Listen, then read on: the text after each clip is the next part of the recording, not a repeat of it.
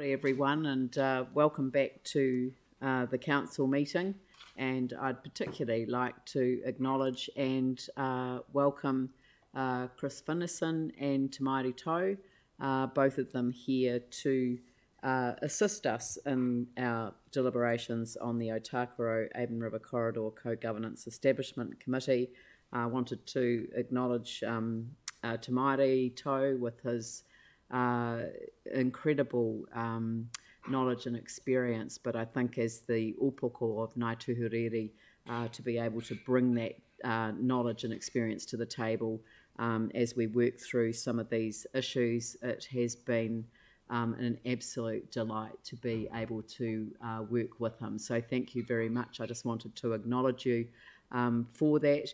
And I also uh, wanted to acknowledge how wonderful it is to work with a former parliamentary colleague, uh, not on the same side of the House, of course, um, at the time, uh, but uh, the Honourable Chris Finlayson, with your depth and breadth of experience um, on issues relating to co governance, both uh, from a, uh, a legal um, point of view, but also from a ministerial point of view. I just think that you've been able to bring a wealth of experience to the table, and uh, the introduction was made by Te Maire Tau.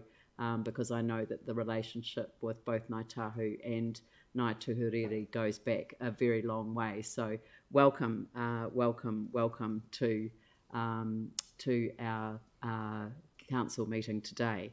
I would like to begin by handing over to uh, the General Manager, Mary Richardson, uh, who has been um, helping to uh, develop the, um, the Otakaro Avon River Corridor Co-Governance Establishment Committee, an important uh, milestone in our, in our city's history. So over to you, um, Mary Richardson. Uh. Um, I just want to, as we get started, as well as acknowledging uh, Te Paul Te Maire Tau and Chris Finlayson, Honourable Chris Finlayson, as the Mayor has done, also acknowledge uh, Chrissy Williams, Hayley Gilletu, and Peter Beck, who I think are um, uh, listening on live stream and has been part of contributing to the development of these terms of reference too. Um, I'm going to take the paper as read uh, and just noting that this is actually simply enacting a previous decision, which was to, um, the previous decision was to establish a co-governance and it was just to report back with some terms of reference uh, so it could be formally established. I'd now like to hand over first to Chris, uh, Honourable Chris Finlayson to actually provide just that context again around co-governance and how it's applied across the country and local and central government. And then uh, um, Tau can speak to the concept of tōpuni. Um, and uh, then that, that'll be it and we'll open for, turn back to you, Madam Mayor. So uh, first, uh, Honourable Chris Finlayson. Well, kia ora, and thank you very much for giving me the opportunity to speak. It's great to see you again, Mayor. Uh, and I remind you, as you said, we're on opposite sides, but it is absolutely true. Your adversaries are on the other side, your enemies are behind you uh, and that's certainly the case for me. But moving right along, um, I uh, th- think the uh, discussion today is actually very timely because co governance seems to be the word of the moment.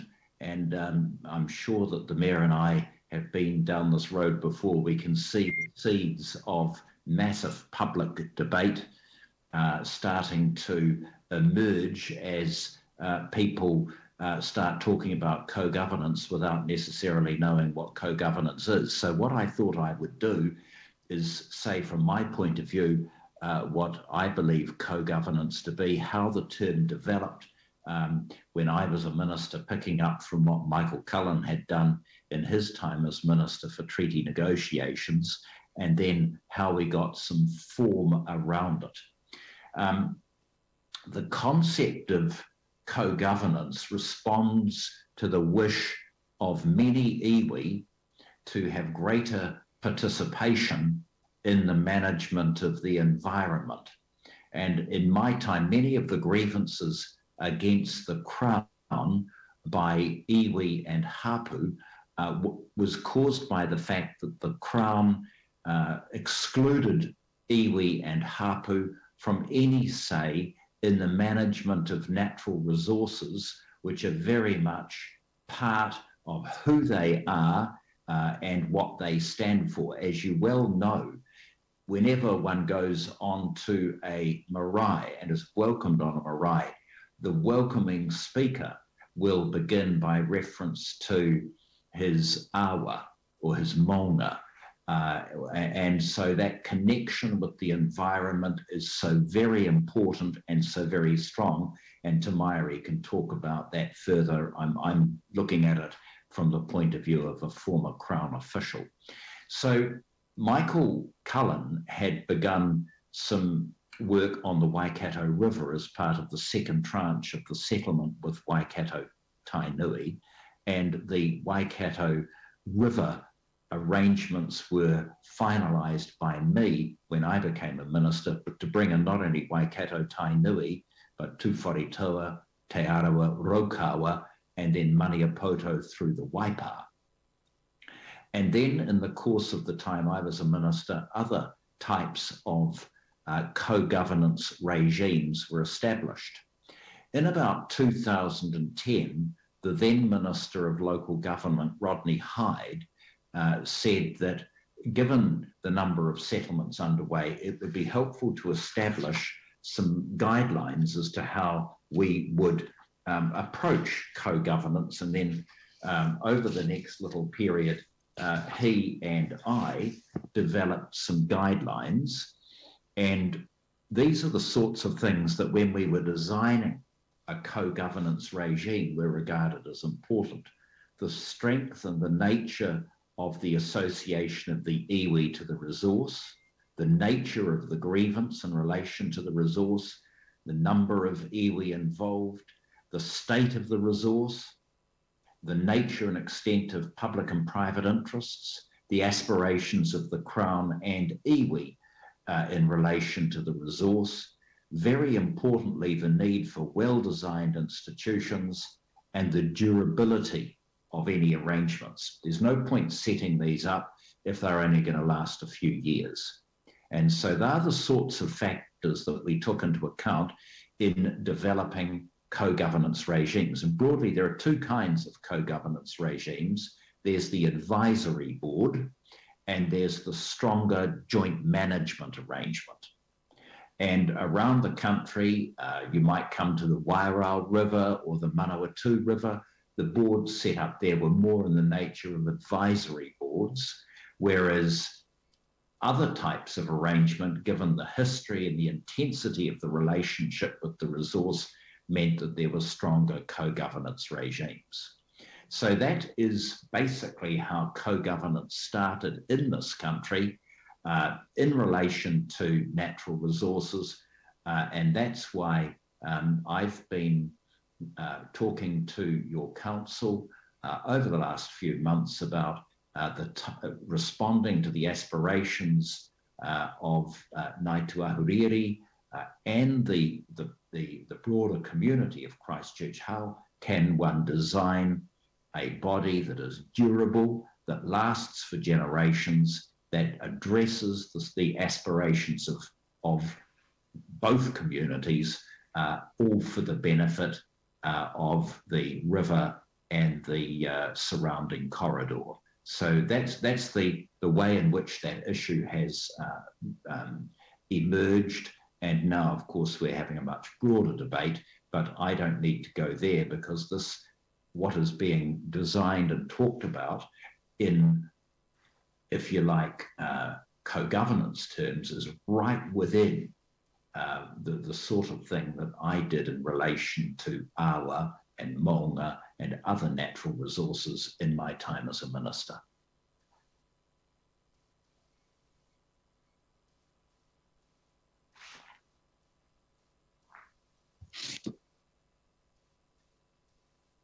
Sorry, I forgot to. Yeah. Um, I forgot to switch on my microphone, and uh, I was um, busy saying thank you very much uh, for that um, presentation. It was very, very clear.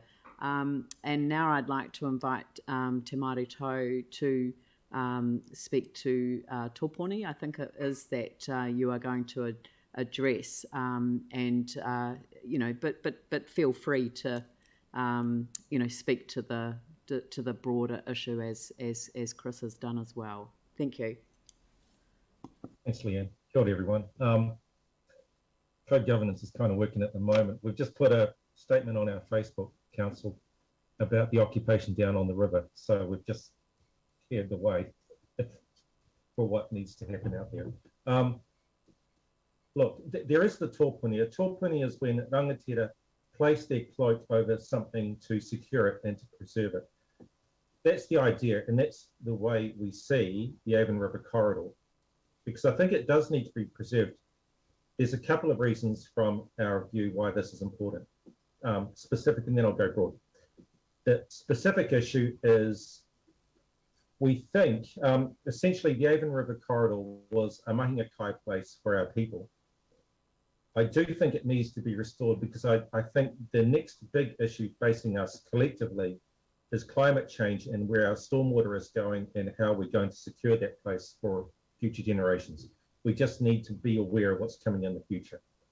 Um, the second thing is just in terms of the leadership of Christchurch City Council and Christchurch leadership, it's always managed to have a clear head on the issues that Chris spoke about my my particular view is um, we know change is coming, and it's best that we're in the front position, leading, as opposed to following what the Crown will dictate.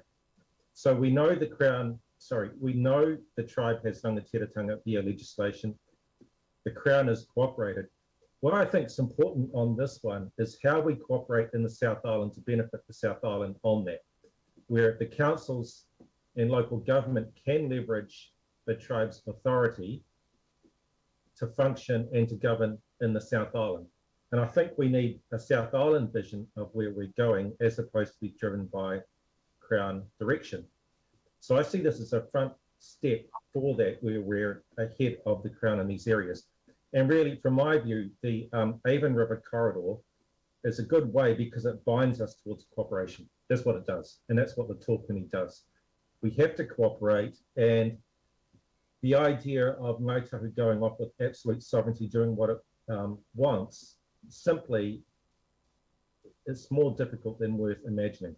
And I think the co-governance thing compels us to engage with the Christchurch City Council, but it gives um, citizens in Christchurch the capacity to frame their own future as an experience for the South Island. And what I mean by that is clearly the tribe can lay down its tikanga on the Avon River corridor. But what's better is that we do it with the Christchurch public, so there's joint ownership by the community in this um, taonga for us all. Gabe keeps on telling me I make things complicated, but what I do see is that it's an opportunity for both groups to leverage the capacity that we have to create it, to create our own future in Christchurch and for the South Island rather than being directed by Crown policy legislation. Best way I can put it. Thanks, Lianne. Kia ora. Thank you. Mary, would you? So um, uh, uh, we're happy to hand back uh, to you um, there for any questions that may have. As I said, this uh, this um, issue has been debated and it has been a prior decision has been made, and this is just simply enacting that prior decision uh, by presenting some terms of reference. Well, I think the, the, the question that I have is that um, the, the concept of um, having a co governance establishment committee, uh, I, I, guess, just in terms of your experience, Chris, uh, do you think that that um, has particular significance in terms of um, creating the capacity, you know, across councils, recognising that there's an election coming up? Um, across councils to um, to sort of enable and facilitate the framework for um, that enduring future that you spoke about. Um, I, would really like to hear your comments on that.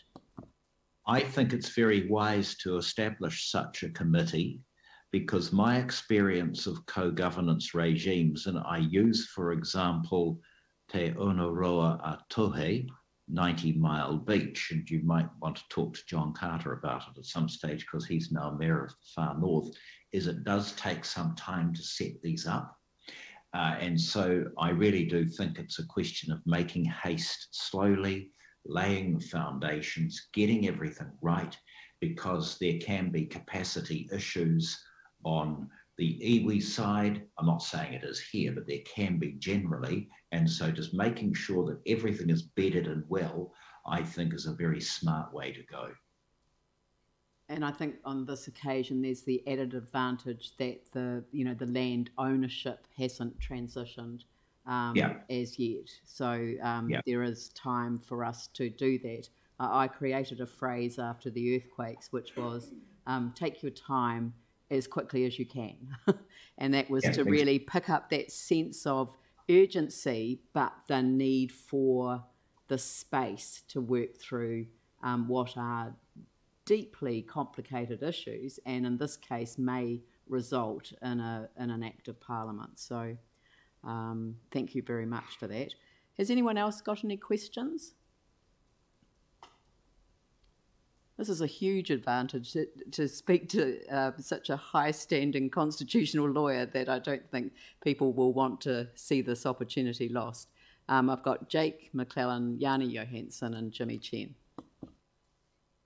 Hey, just thinking about the, the, the skill set required for those three members um, that that are appointed by the by the two chairs, and noting that that's kind of slightly different to the Ngāi Tahu um, representatives.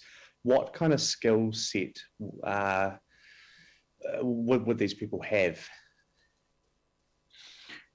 That for us, or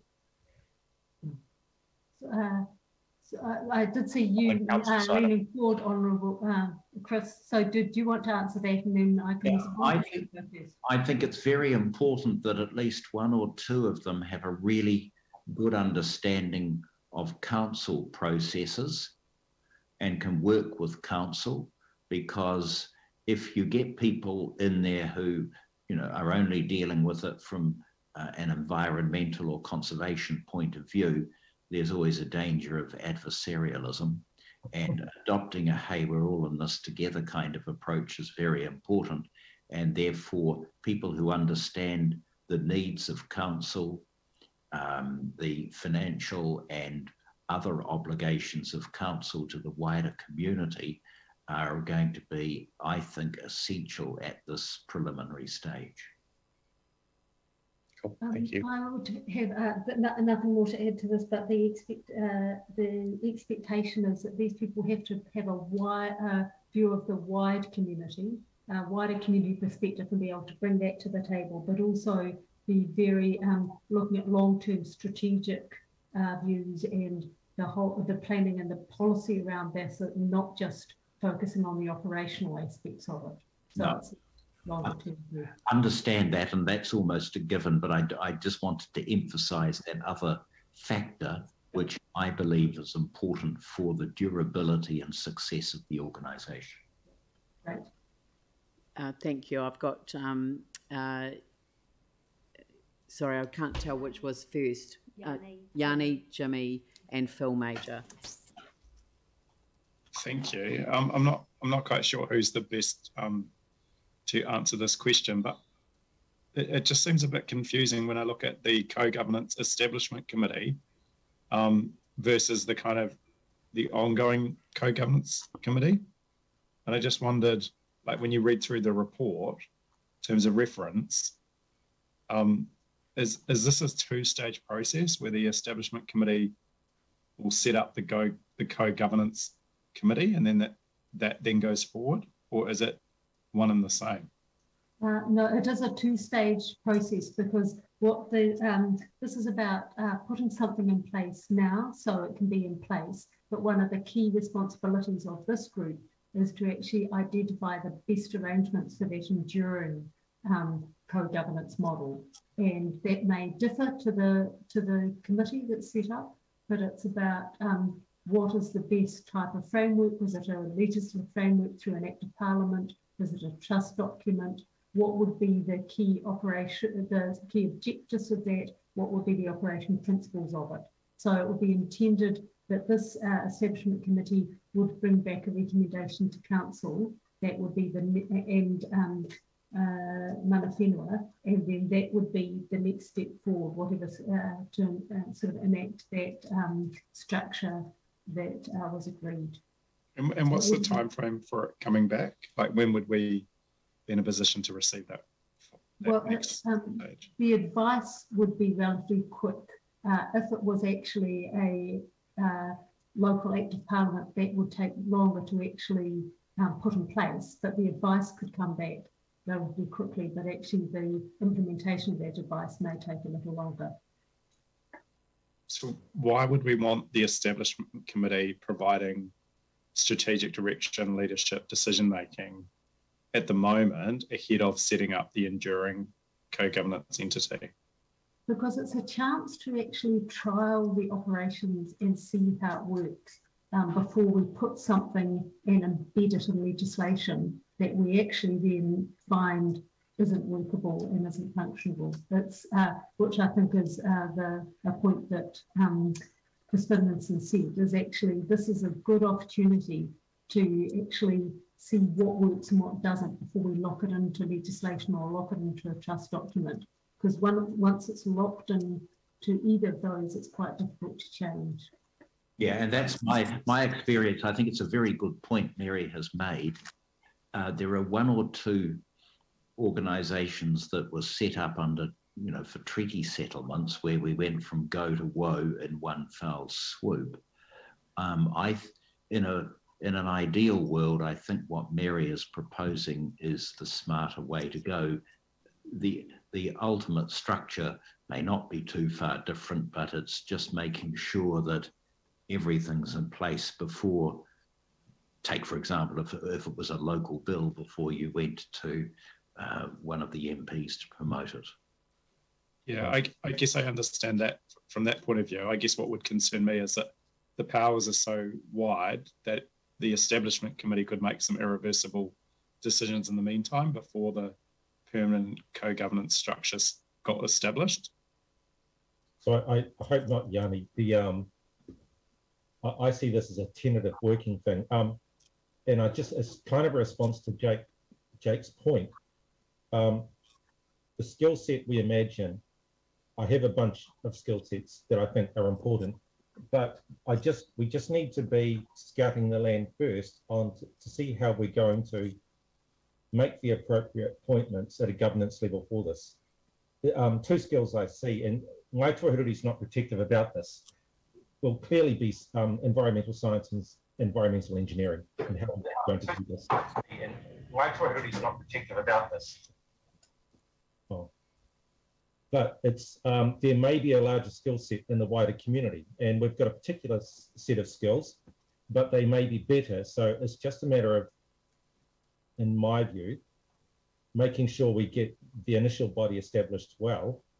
Um, but I certainly wouldn't see anything making this establishment body making clear statements which are definitive. And just a final question from me is um, in accepting that um, it's a co-governance arrangement, um, but just under five, um, and in terms of the council, would we not, could we have a step where we would make recommendations on what the three other committee members were or, or should be? Like, I'm not quite sure why council would be, um, as, as a, given it's a committee of council, why we would be excluded from making a, a recommendation of the people that we're going to go on in terms of that item number five. So you actually have to appoint them, Councillor Johanson. So this is asking the chairs to identify those people and they would become come back to be formally appointed by council as, a, All as right, legislation requires. Right. Okay. Thank you. So why do you need five? Is is that just a chair's recommendation? The chair. I'm not quite sure what the point of five is then, if it and why That- that's not explicit. That's making it clear who's actually going to identify these people to bring back to you, that it's not, Oh, okay. it's not a staff going away and coming back with recommendations. It's Sure. the two chairs coming back. Do you think it?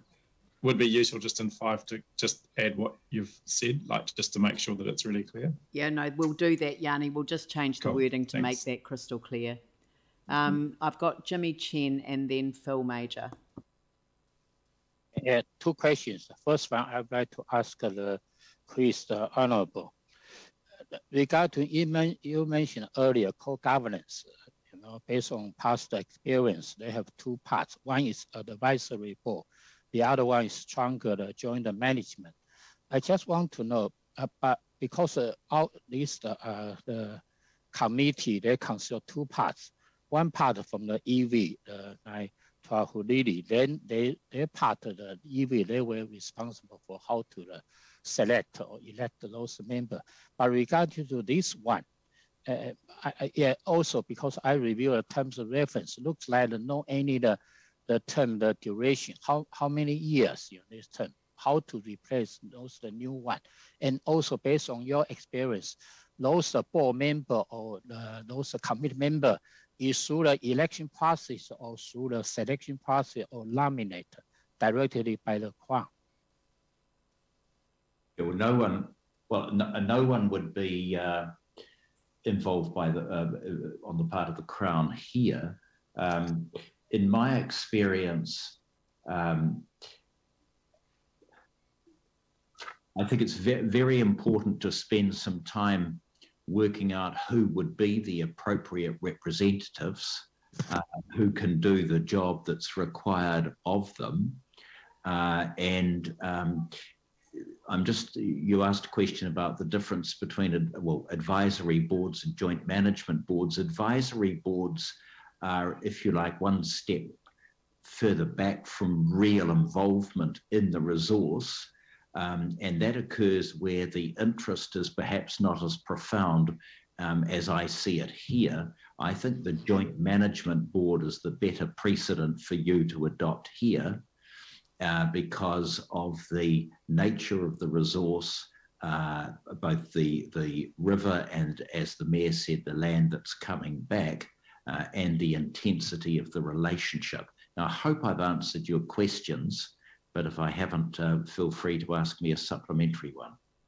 Okay, yeah. Supplementary one is because I'm concerned the local democracy because uh, you are aware at moment the council structure, all the committee member majority, maybe 95 percentage is from the elected uh, council member, but five percentage only few is we have pulled up with uh, some or qualified skilled expert the, the, as a joiner uh, as a committee member. But this one, what is your point of view? Is through the uh, local democracy from elect member or is from the skill experience, you know, those, the, tho- those as a member? Which one is, is better? Oh, no, I understand exactly what you're saying, and that is why there needs to be strong local representation. But equally, the extent of the historic relationship between the iwi or hapu and the local resource um, is a very important factor to take into account. Okay, thank you. And And I Okay, second, I would like to ask Mary, particular for the uh, delegation here, uh, the, the, this uh, committee, they have too many functions. One is council dedicated to make decision for land uses and uh, activities. The other one is make financial decision. I just want to know whether this committee meeting, after meeting is, uh, uh, they need to present the list uh, meeting minutes to the uh, council meeting or not? Uh, yes, this is like any of your committees. So this is a committee of council, so the minutes would have to come to council. Um, the other thing is that it is, only has delegated authority to spend the budget that it has. So that will be up to the council to actually delegate it the budget. It can't, can't, it's limited by what council provides to it. It hasn't got an unlimited budget that it can spend. Yeah, but so based on your the reply, the council just uh, to receive the information, am I right? Yep. And Okay, if thank there- you. There are things that are outside the committee's delegation, they would recommend them up to council. Okay, thank you. That's my question. Thank you. Thank you. Uh, Phil Mauger. Hi, this is uh, probably a question for Mary. Um, and, I, and excuse me if I haven't seen it in there, but I've, I've looked long and hard. What what happens to that um, group called TTK? Does that vanish and this sort of takes over from it, or where are we at with that?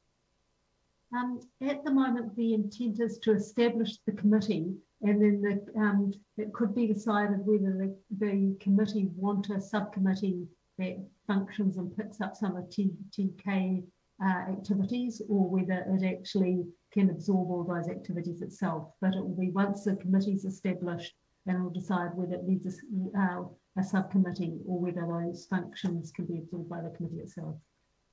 Beautiful, thank you. Yeah, we extended the um, operation of that group, um, and and and I, I note, uh, you know, that it does cover uh, other elements of land that was red zoned in the Port Hills, and um, and so uh, you know, but I mean, the focus has been significantly on the OARC. I think that uh, there, is likely to be a recommendation. So we've just extended its operation in order to um, facilitate decisions that are being, well, recommendations and, and advice that they're giving at the moment. Um, uh, and and but we, the, the, the, the, the co-governance group will come back to council um, as part of a you know it, it being a committee of council with recommendations in that regard as well. Is that is that a fair summary, Mary? Yep. Yeah. Yep, that's right. Okay. Um, so that seems to be all the um, questions. Oh, except that I will because because I'm now conflicted really on one of them, which is to appoint me as one of the co-chairs. Um, I, and I, I, note that you've um, referenced me as uh, Lianne Dalziel uh, by name rather than by position. Um, and that's simply to allow for the uh, ability to transition across the electoral um, cycle, um, but recognising that it will be the incoming uh, council that will be um, in a position to uh, to to make an adjustment um, uh, to that. But I, I, just, you know, I, I think that having that sense of continuity I mean, I personally will work as hard as I can uh, if, if, council entrusts me to this role to ensuring that um, we pull out all the stops to come back with recommendations before the elections um, so that there is at least some sense of the tabling of a way forward, even if it's not a decision that this council um, makes uh, you know, it, it, it, that's that's certainly what I would um, want to commit to the to, to the role. Um, but I have to say that I'm now conflicted on on number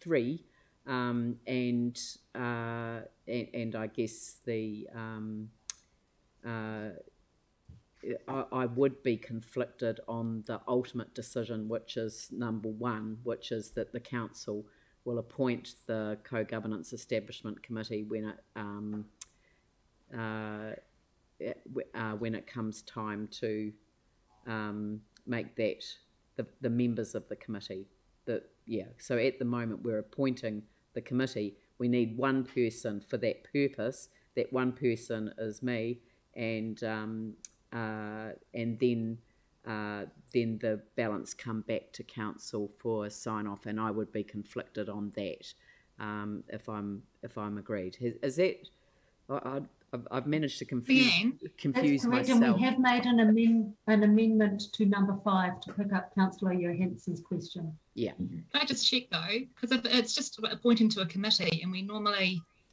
um, uh, vote on you know, even if we're appointed to committees and things, we will vote on that at the same time. I wouldn't think you'd be conflicted because it's not a director thing, it's just a council committee.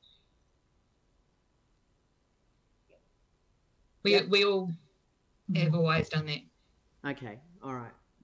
Um,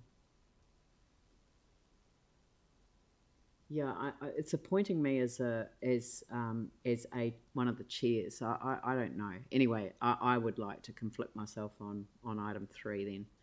Um, so, um, but uh, but I'm you know happy to um, to accept that if um, if well I would like the council to accept that because it allows for a smooth process um, as we proceed. So um, that seems to be all of the questions, and we've got uh, some wording which says request that the chairs identify and recommend to council three other members to be appointed to the committee. So that um, we've got uh, Te Runanga o Ngāi Tūāhuriri to identify four members, including a co-chair, and then the chairs identify and recommend to council three other members to be appointed to the committee. Um, and as I say, this is the establishment committee, and it will have a series of recommendations uh, for um, uh, possibly tabled on this side of the election. Um, that would be my hope, um, and uh, but determined by the by the incoming council for the for the establishment um, of the um, of the Otakaro Avon River Corridor co-governance committee, if that's what um, if that's the limitation of our thoughts in terms of what it might be called. All right, uh, so I will um, I will. Oh well, actually, if I can't, I can't move it if I um, conflict myself. So I'm not going to conflict myself. I'm going to move it. And um, do I have a seconder? Um, Mike Davidson. Right. So um, well, uh, look, I'll just open it up for debate. Um, I actually haven't prepared anything um, specifically for uh, for today, uh, but I just wanted to say that this is an incredible milestone. It's a step along the way um, of a journey that began actually at 4:35 a.m. on the 4th of September 2010, a day that's etched in my memory. Being woken up uh, out of a deep sleep um, in, in Bexley on that day, uh, and and then having to be confronted with the reality of the um, impact of the February earthquake, um, and of course all of the other ones that that occurred at the time, and then uh, you know, the announcement, I think it was, we were the in the first group to be um, red zoned as it became known uh, and uh, off, made an offer um, that we couldn't refuse, uh, not because it was such a good offer, but because there was no other offer made available. And this was the experience of, you know, sort of seven and a half thousand uh, property owners right across the Otakaro Avon River corridor hugely challenging experience for people. It was a mechanism for retreat. Um, it didn't feel very managed, but it was a, an important step, and it was an important step for the city too, because dealing with the reality of sea level rise and dealing with the the, the reality of the um, of the flood risk that would have been created in that environment, uh, it would have been too huge for the city to take on. Uh, being able to think about the future now, though, as a legacy for the city, and I want to acknowledge all the work that's been done, uh, Regenerate Christchurch with the regeneration plan, um, but also all of the community groups that have emerged, um, the Otakaro Avon River Corridor, Greening the Red Zone, you know, all of those different groups that have, um, sorry, the um, Avon group, the um, Avon um, Otakaro network, that the work that you've done, the, the incredible um, strength that you've shown, and the ability to engage the wider community in this conversation about the future um, and thinking about the ecology of the area and the opportunity to restore um, mana, te mana o te wai, the, the, the mana of the, of the um, Otakaro River, you know, just the, the incredible opportunities, the, the stormwater um, cleaning up that's occurring in, in, in uh, wetlands that are being developed in the Horseshoe Lake area. Um, you know, just all of those opportunities, they are huge. And uh, so that's why I think that it's such an important opportunity to be able to think about that in the context of uh, co governance, which invites us to listen to the voices um, of the river, but also to listen to the voices of mana whenua um, and their uh, knowledge and experience of Mahinga Kai uh, and, and all that this environment has meant. Um, Otakaro means uh, place of play. I didn't know that before I was the mayor of Christchurch. And, uh, again through a learning how how significant um, these water bodies are and our role in in protecting them for future generations, for our children and their children after them. Um, it is so so vital that we come together in order to think about the future of this incredible place. Um, there is a history that sits in uh, behind there, or many histories that sit in behind Otakaro um, and its surrounding areas. And uh, those stories, uh, they date back prior to European settlement, but also the post-European settlement stories are now important and also reflected in the decisions that were made uh, where people who used to live there lost uh, their homes and lost uh, the communities that they, um, in many instances, had grown up with. And so this is about um, restoring something really special to this environment for the future. This is just the establishment phase, but I think it's a really important opportunity for us to think uh, with great optimism about what the future of this area will offer um, our people, our, our city, uh, and actually our nation when we think about some of the challenges that we all have to face uh, with uh, changes to our environment in the future. So, uh, again, an incredibly important opportunity for us all. So, um, thank you everyone for all of the work that you've done. And I too would like to acknowledge Chrissy Williams and Peter Beck, who I missed out in terms of acknowledging at the start. Um, who else would like to speak to this? Andrew Mayor, Turner. Do we, um, do we absent ourselves now? Yes, certainly. Thank you very much for your um, contribution. Thank you. Thank you. Got everyone. Andrew. Thank you very much indeed. Now, um, reading this report, um, it tells the, the history of how we've got to where we've got to, and it's largely a report around the, the mechanisms for establishing a committee. Um, but there's one line in this report that really jumped out to me, and it's the first line of um, paragraph 2.1. The Otakaro Avon River Corridor represents an extraordinary opportunity for the city and the region. And even that sentence quite possibly underestimates the opportunity that's in front of us here. Um, this is extraordinary.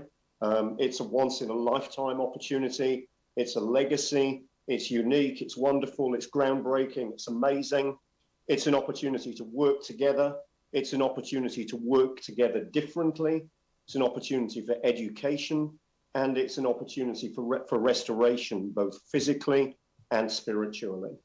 And what we've got in front of us in this paper this afternoon is an opportunity to begin to realize all of the amazing things that this piece of land offers, some of which have already been the subject of a lot of discussion and a lot of thought, some of which may not even have been imagined yet. Um, so I'm delighted to, to be able to reflect on the journey that we've been on with the community in partnership and in conversations with Ngāi Tahu. Um, this is an excellent opportunity to work together in co-governance I'm delighted to see this piece of work get to the point where we can make this decision today, and I'm very supportive of the recommendations that are in front of us. Thank you. Um, anyone else? Mike. Uh, Mike Davidson. Uh, thank you. Um, well, this this is actually a really good, uh, great occasion. Um, I felt like just reading the introduction to the terms of, of reference as a, as a debate. It was actually that that good. Um, but but I think actually the, the right thing to do is um, a ngāi tahu a whakataukī, uh, mō tātou uh, uri a muri aki nei, um, for us and our children that follow. All right. It seems to be everyone.